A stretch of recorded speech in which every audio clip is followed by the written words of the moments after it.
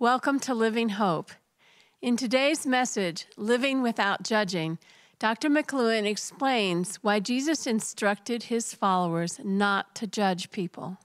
A young man walked into a church, and no sooner had he passed through the doors when he heard the pastor say from the pulpit, A young man just walked into this house. You're a holy man. There's a great anointing on your life and God is going to use you around the world for his kingdom. After the service was over, people who knew the young man came up to the pastor. They were disturbed. They said, Pastor, you got it wrong. I know that man. He's addicted to cocaine. How could you say something like that about him? The preacher said, I knew that, and the man knew that. What he does not know is how God sees him and what he's going to do for his life. During the service, the man was instantly set free from cocaine and began his journey towards life with Jesus. And this story illustrates why it is so important that we understand what Jesus said to us in this saying Do not judge and you will not be judged. Matthew chapter 7, verse 1. What a remarkable story. It's a funny thing, but this saying of Jesus seems to be one of the most quoted statements by people who do not follow Jesus. Have you ever had people say that to you? People who are not following Jesus frequently accuse those of us who are following Jesus of judging them or being judgmental. And that's reason enough for us to explore this important saying. Now, Luke expands on what Matthew wrote in his gospel of Jesus saying by saying this Do not judge others, and you will not be judged. Do not condemn others, and, or it will come back against you. Forgive others, and you will be forgiven. Luke chapter 6 and verse 37. If you've ever felt judged by someone, then you'll know exactly what I'm talking about. This saying of Jesus is part of the message that we've come to know as the famous Sermon on the Mount. And in this message, Jesus presented the principles of what he called the kingdom of heaven or the kingdom of God. Uh, Jesus taught his followers to think the way God thinks. The statement is not about, about judging needs to be understood in the context of the whole message that Jesus presented. Uh, everyone, every day, is required to make decisions. We call this good judgment. We commend people who have good judgment about, and we see this in the way they speak, in the way, the places they go, and in the things that they do. So, what does exactly does Jesus mean when he says, do not judge? Jesus is teaching that there's a kind of judging that is destructive. And this is what Jesus is warning us about in these verses. And how do we know the difference? And there are four marks of judging that is destructive. Let me suggest a few of these to you. When it is personal, when our judging is personal and not through proper channels, channels of authority that God has established, such as the courts. And when we act as though we are both the judge and the jury, how many of you seen old movies where somebody's arrested and the, and the judge says, I'm both the judge and the jury, and you don't have any choice but what I decide. And when we take the desire for punishment into our own hands and we want to do things to people, and of course, when we try to seek revenge, we are. That's the kind of judgment that leads us into trouble. Remember these words Vengeance is mine, I will repay, says the Lord. Aren't you so glad to know that nobody ever gets away with anything? Maybe for a short period of time, but eventually we'll all stand before the righteous judge. So, this kind of judging brings negative consequences into our lives. Here are three consequences that I think are important for us to think about this morning. We bring more judgment upon ourselves. When we judge people this way, it results in more judging being directed towards us. Jesus said, well, You will be treated, treat others the way you want to be treated. The standard you use in judging is the standard which will be used to judge you. Matthew chapter 7 and verse 2. And we read in Galatians about the relationship between what we sow spiritually and what we reap in the spirit. Of course, uh, Paul is speaking about the normal process of agriculture what we sow, we reap, and so it is true in the spiritual realm. Do not be deceived. Paul wrote, God is not mocked. Whatever one sows, that he will also reap. Galatians chapter 6 and verse 9. When we sow a judgment against someone, we end up reaping a consequence in our own lives. For example, judgment sown by a man against his mother will most likely be reaped in his wife or in relationships with women. This has been seen over and over again as we talk to couples. Judgments sown by a woman against her father are most likely to be reaped in her husband or in relationships with men in the offices of counseling are filled with questions of, of repeat behaviors because of judgments that have been made. A second consequence, it's too easy to make a error in judgment or judgments in error because we don't have all the facts that we need. How many of you had made a decision about someone only to say, ah, if I had just known this about him or that about her, I would have had a different thought. So we find very clear teaching about this in the letter that Paul wrote to the Corinthians. Do not pronounce judgment before the time, before the Lord comes, who will bring to light things that are now hidden and darkness and will disclose the purposes of the heart. Then each one will receive his commendation from God. 1 Corinthians chapter 4 and verse 5. This is a powerful verse with deep insight because God knows things about people that you and I don't know. And God understands people in a way that you and I don't understand because He knows what their circumstances were. You're familiar with that. If you'd walk a, ma- a mile in a man's shoes, you would know more about his circumstances.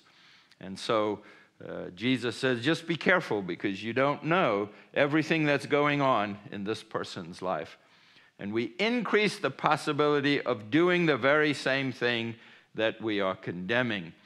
Uh, so often, when accusations are made against me, I'm aware of immediately in the spirit of something that's going on in that person's life. In Romans, we read, Therefore, you have no excuse, every one of you who judges, for in passing judgment on another, you condemn yourself because you, the judge, practice the very same thing. Romans chapter 2, verse 1. Have you found that things that you hate the most in other people are actually the things that you hate about them being in your own life? So here's a valuable lesson. Whenever people accuse you of doing things, it is often an indicator of exactly what they themselves are doing. This will serve you well and help you as you respond to people. For this reason, bringing accusations against others, do it very cautiously. This is exactly what Jesus was warning us about. Now, over the years, some people have seemed to think it is their calling in life to tell me what's wrong with me or with this church. It's often things like that happen to pastors. And I've uh, never heard anything I didn't already know. And believe me, I know what's wrong. I'm not saying I know everything about every person. Some people like to come and talk about persons. I may not know that. But when they say, this is what's wrong with the church, nobody, and I never went, oh, I never thought of that. That didn't happen. Because God's already spoken to me. God's already helped me understand. I know what the weaknesses are, but what God sees when He sees Ingleside, that's what we need to see. We open our eyes to see what God sees and what God is doing. Every one of Jesus' disciples had flaws. And most leaders would not have picked the ones that Jesus picked. Jesus saw something in them that the other rabbis of the day did not see. it needs to be clear to us every single son is, aspires to be the student of a rabbi. Everyone. And anyone who was not a rabbi's student was rejected. And Jesus chose the ones who were rejected. They were not already in rabbinic school, they were in the secular trades. And so Jesus saw something in them that the other rabbis didn't see. I wrote a message called What Did Jesus See in Levi? Of you remember that message? I'm telling you, it's one of the most uh, popular messages I ever brought. I encourage you, if you've not heard that message or seen it, you can find it by searching my YouTube channel under Dr. Peter McLewin and just search for What Did Jesus See in Levi? Now, Jesus continued this teaching by saying, Why and why worry about the speck in your friend's eye? when you have a log in your own. How can you think of saying to your friend, Let me help you get rid of that speck in your eye, when you can't see past the log in your own eye? Hypocrite, first get rid of the log in your own eye, then you will see well enough to deal with the speck in your friend's eye. Matthew chapter 5, uh, Matthew uh, chapter 7, verses uh, 3 through 5. Now, one way to live without judging is to free ourselves from hurtful experiences and judgments that we have made against people as we were growing up. We have seen, Pastor Margaret and I have seen many people help by working through these simple steps. Identify painful experiences that open the door for you to judge someone. this uh, takes time to slow down. Sometimes we are so busy masking our pain that we haven't actually identified what the source of that sorrow and hurt is in our life. And if you can find a person with whom you can safely express how hurt or how angry you felt as a result of this experience, it will help you. Uh, we know as, a, as an adult that we need to forgive. We have heard Jesus speak about this, but the child inside of us is still raging, and that child needs to express his or her frustration let it out in the presence of someone who is safe, who can help you. Give your hurt and your anger to Jesus. Lay your hurt at the foot of the cross. And then forgive the person not as an adult, not as something that you are supposed to do, but from your heart as a child. Just say, I release you and I put you in the hands of God. Ask God to reveal something to you about that person that you could not possibly know about. And as we have worked through this process, we have seen so many people who discovered something about the person that hurt them that increased their ability to have compassion on that one, to see your perpetrator through the eyes of his or her hurtful experiences. Nail your judgment to the cross of Christ.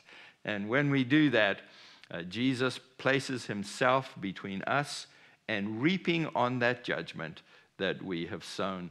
And He takes the consequence and lifts it off of our lives. Release the person you have judged into God's hands. Just say, God, I give him to her. I put him or her in your hands. Sometimes in counseling with people, I'll just put my hands out and say, Put your hands on top of my hands. And when you leave that person in God's hands, just lift your hands off of mine. And so many people have trembled and shaken and cried and then lifted their hands and just felt a flood of the peace of God come upon their life as I have taken their pain in my hands and nailed it to the cross of Christ. When we do this, we take ourselves out of the position of being judge over that person. And we've seen many people set free from old wounds who follow these simple steps. Now, what can we take away from this saying of Jesus? First of all, let God be God. Remember these words of Jesus Dear friends, never take revenge. Leave that to the righteous anger of God. For the scriptures say, I will take revenge. I will pay them back, says the Lord. Romans chapter 12 and verse 19. Resist the urge to assign blame or motives to the actions of others which you disapprove. That's what gets us in the most trouble, and I feel often the most hurt as a pastor when people tell me what my motive was in what I did and completely miss my heart. My heart might have been in the right place, even if my action was not the wise, wisest thing to do. And so it's the heart, it is out of the heart that the issues of life flow. We want for your heart to be protected and held in the hands of Jesus so that when your heart is misunderstood, even if I have misunderstood your heart, you will feel safe in the hands of Jesus. Defer all judgment to Jesus because he knows things that we don't know. Leave the heavy lifting to Jesus. Only he knows why people do what they do. Become a recipient of the extra grace by lavishly sowing grace into the lives of all people. And these great words Judge not that you do not be judged, for with the judgment you pronounce, you will be judged, and with the measure that you use, it will be measured to you. And so Jesus invites us to sow a cup of grace here is his promise Judge not, and you will not be judged. Condemn, and you will not be condemned. Forgive, and you will be forgiven. You will be forgiven.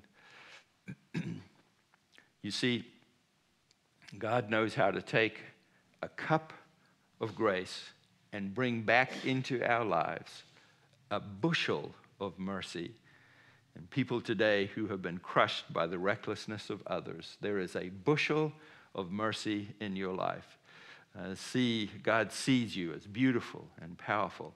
He's raising you up today. So give, and it will be given to you.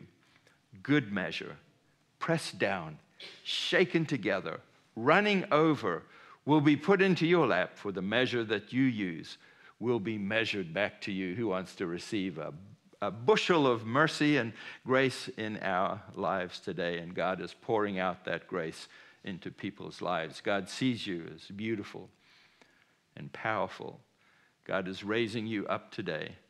Now, the Bible is full of stories of people who appeared, for whom, to whom God appeared and changed the course of their life.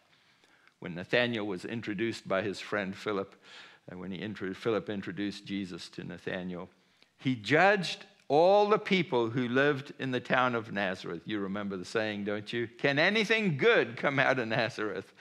Uh, there was, was a judgment that Philip has made about the people who lived there, and sometimes we make judgments about people who live in certain places. Jesus turned, to Na- turned Nathanael around by calling him good. He said, There's nothing good. And Jesus said, Nathanael, you are good and saying that he saw him sitting under his fig tree. And of course, Nathanael, Nathanael was undone by this word of knowledge that Jesus had about him. You see, Jesus always sees what we don't see in people. That simple revelation transformed Nathanael into a new man. Last night, God showed me a man in a red shirt. I don't see any men in the house in a red shirt today, so you must be online if you're watching. God saw you last night. He showed you to me last night. If that's you, God is, says a change is coming. He's about to fulfill the desire of your heart. When Saul was on the road to Damascus, Jesus encountered him as a man in a bright, shining white robe. He changed him into the Apostle Paul and sent him all the way to Rome to share his faith with Emperor Nero himself in preparing for this message, I listened to some words of destiny that were spoken over me back in 2018. And many of those words that Isabel said, it's on YouTube. If you're curious to know, I can show you how to find it. And I listened to it. She prophesied over Pastor Margaret and I for about 18 minutes. It was the most stunning thing that we would ever received. And she, she said things that would just have been so true in our lives. And one of the things that uh, she said that you have endurance, you are a long distance runner in the kingdom. Isn't that a word that's uh, uh, plainly, apparently obvious of being here 38 years? She didn't have any idea how long I had been here. And she just understood that she gave us a word that God knows how long we've run and He knows what the journey is about. At a low moment, when someone had cursed me and cursed the ministry and cursed the church, that's when that word came. You have endurance, so you are a distance runner in the kingdom of God. We thank the Lord that a word can turn us around. Ask God to move you from judging people to speaking words of hope and healing to, in their lives in desperate moments. Perhaps, like the man in the first story, you're addicted to drugs and you're masking your pain. And perhaps I'm speaking to someone right now uh, who is in that exact situation. Jesus sees in you more than you ever thought possible. I break your addiction right now by the power of the Holy Spirit, whether it's drugs, alcohol, or any other device that's just got you in its grip. I break it now, and I speak over you the righteousness that comes through faith in Jesus, given by the Holy Spirit. Except that Jesus died for you in your place on the cross, and that you will spend eternity with God in heaven. Thank Jesus for dying for you and ask Him to forgive you of all of your sins that you have committed through the course of your life. Now, Holy Spirit, come and fill people listening to this message. Fill us here in the house and fill us, those watching in the stream. Open your eyes to see what you've done for them. You just received Jesus as your Savior. Write to me. Tell me about your decision to follow Jesus. Next week, we'll continue learning from the sayings of Jesus. We hope this message has filled you with living hope in Jesus. If you would like to talk to someone about your spiritual journey, please leave a comment or send us a private message. We enjoy reading your notes and having an opportunity to pray with you. If you received a blessing through this message, please share it with others. We invite you to become a Living Hope partner by donating as little as a dollar a month through our QR code. Your gifts will help us create new messages and reach more people. Living Hope is a ministry of Ingleside International Incorporated. All donations for Living Hope qualify as a charitable contribution. Thank you for your prayers and support. Next week, we will continue learning together from the Word of God. God bless you and fill you with living hope.